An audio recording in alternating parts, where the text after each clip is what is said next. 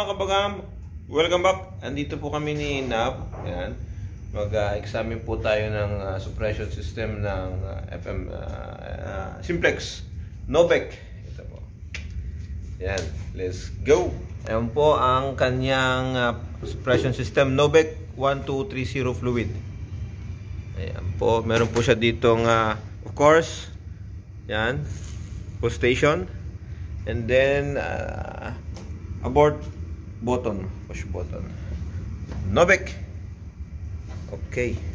Let's go. Yan po siya. Tara, let's.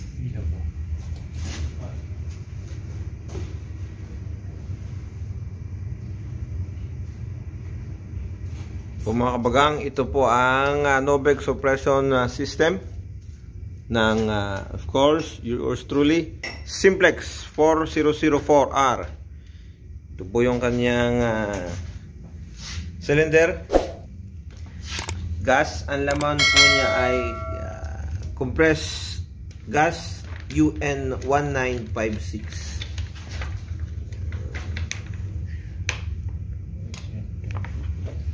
Novec.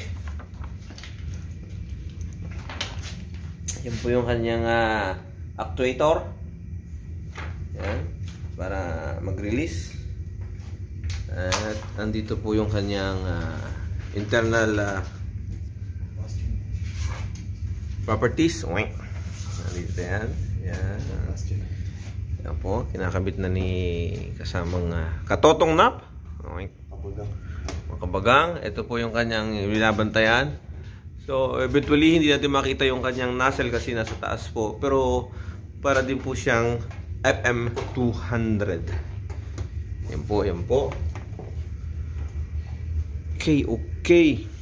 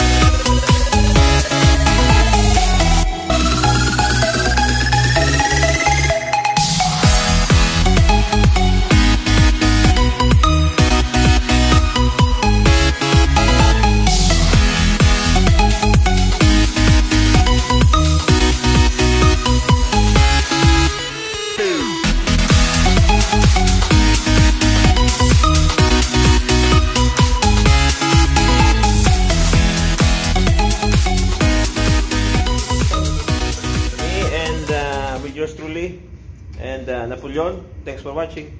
Bye.